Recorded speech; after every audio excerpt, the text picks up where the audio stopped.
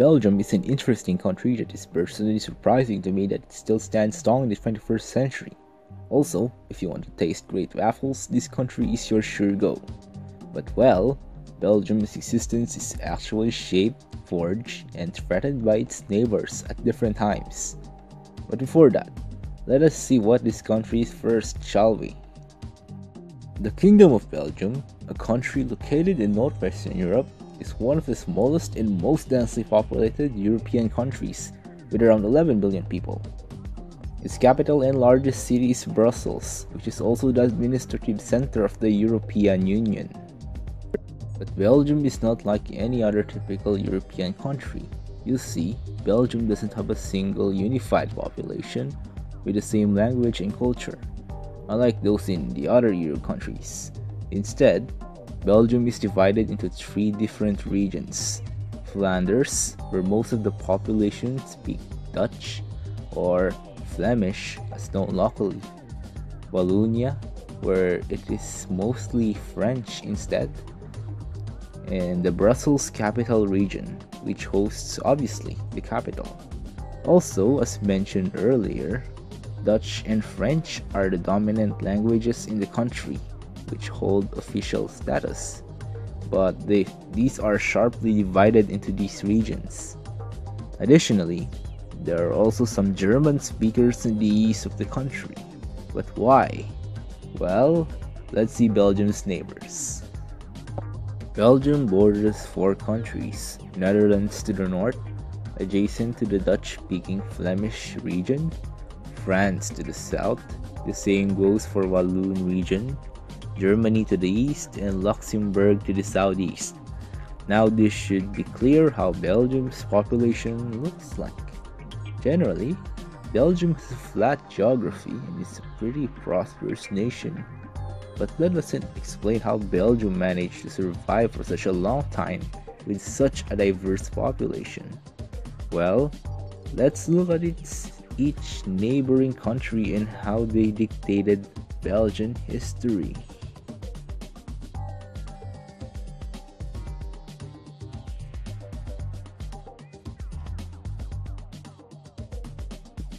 Belgium's immediate neighbor to the north is the Netherlands, in which today they get along pretty well. However, the Dutch had always kept their eye on Belgium because it houses a huge Dutch speaking population in Flanders. Looking back history, both Netherlands and Belgium were united under Habsburg rule, although the Dutch revolted and went their own ways but Belgium remained under Habsburg rule, although the French annexed it during its revolution. After the defeat of Napoleon, both the Netherlands and Belgium were once again part of the same country under the United Kingdom of the Netherlands.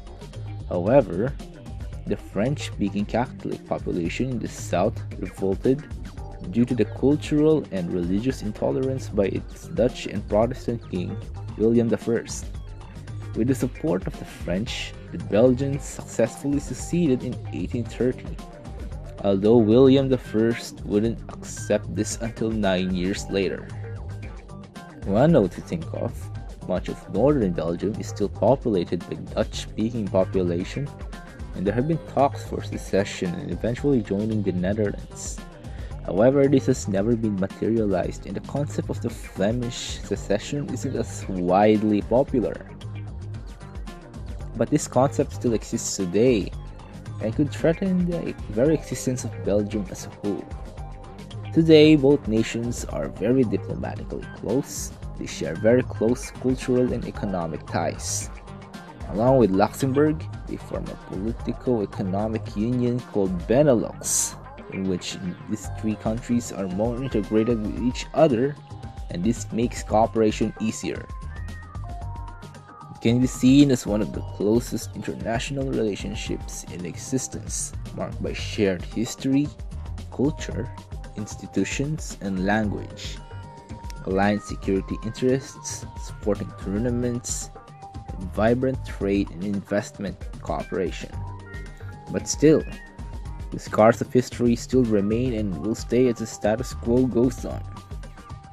Side note, One thing interesting about these two countries is that their border has one area that is quite wacky.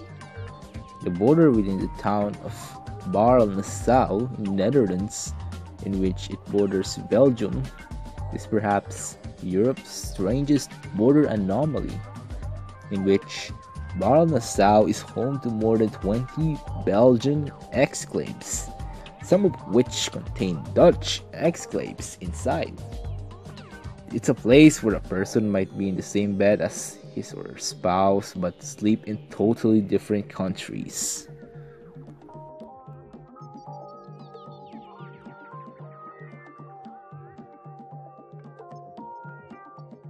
Belgium's eastern neighbor is Germany, a massive powerhouse.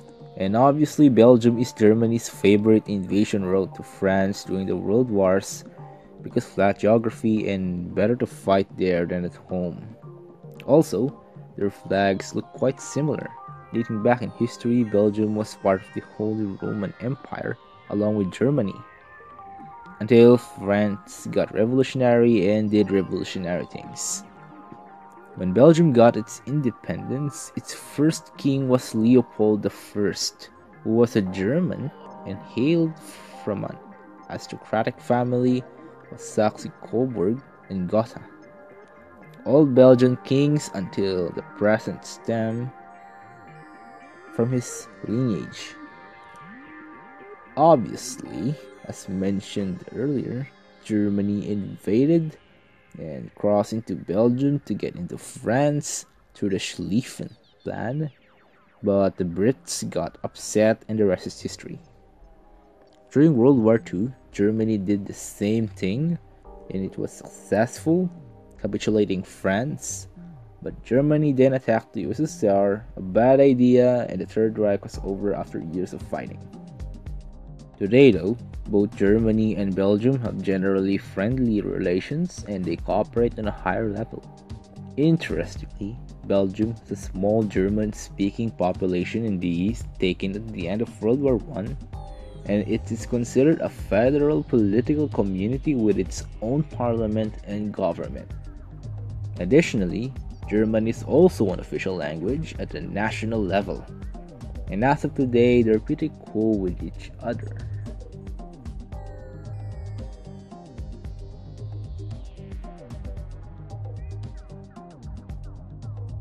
Belgium has a smaller neighbor southeast, which is Luxembourg.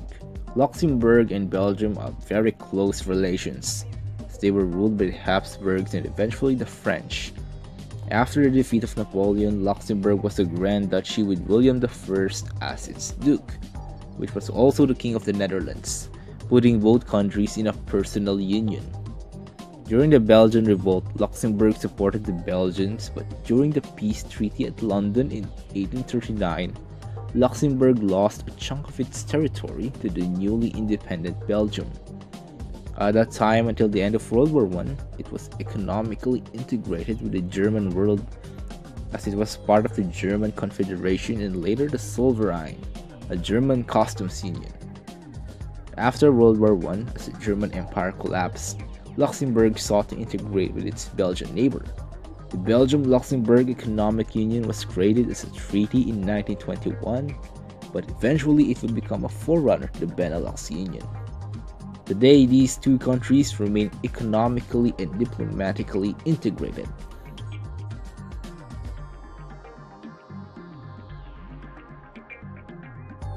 Belgium's southwestern neighbor is that of France. France in the southern regions of Belgium, mostly Wallonia, are culturally and linguistically integrated. French is one of the official languages of Belgium, but there is also a Walloon language, which is quite more distinct from the French. Fun fact so called French fries may have originated from the French speaking region of Belgium instead. Belgium and France have a long history of being neighbors, and as a part of the Habsburg crown, France has sought to expand its territory, but it culminated during the French Revolution when all of Belgium was annexed into France France lost the Napoleonic Wars and couldn't keep Belgium, but it supported its revolt against the Netherlands. Britain couldn't allow France to just partition it or make it an ally or protectorate because France can't have nice things according to Britain, and Belgian neutrality was guaranteed by Britain. This had long lasting consequences as Germany would invade through neutral Belgium to bypass French fortifications along its border. Despite this, Belgium and France are culturally and economically integrated. Belgium is part of the Organisation Internationale de la Francophonie. I'm not sure if I'm pronouncing this French word correctly, but this is basically a group of francophone countries in which ling- lingua franca or the main language is French and has interrelations with French culture and both have great diplomatic relations.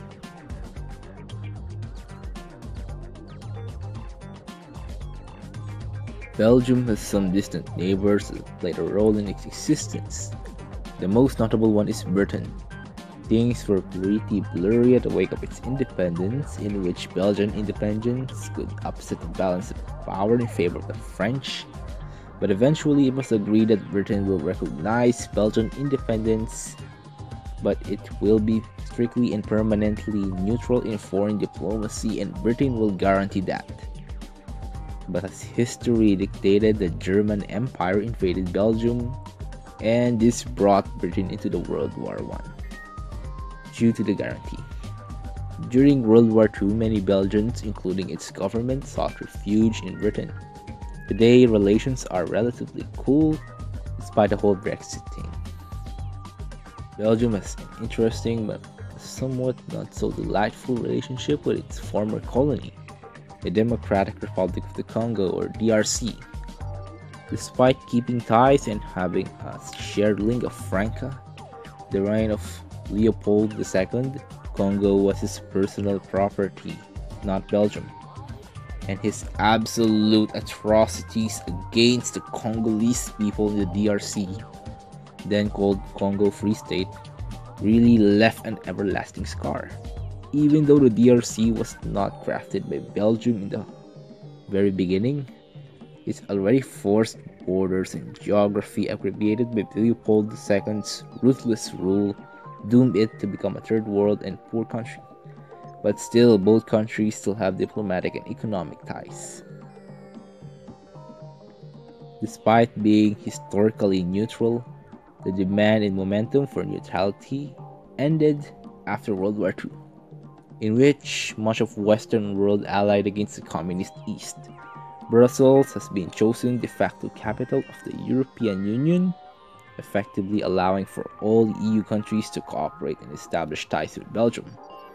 Belgium is also a NATO member, establishing close relations with the United States. To conclude, Belgium is a country that may seem doomed to fail due to its division. However, due to its unique position as a buffer state between France and Germany, center of European integration, and the fact that most of the people living there see themselves as Belgian, it has survived and it is surviving.